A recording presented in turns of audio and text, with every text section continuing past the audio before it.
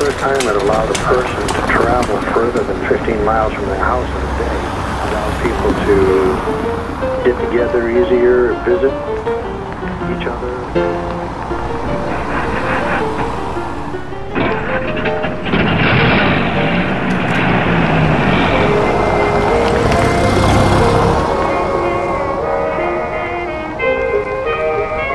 The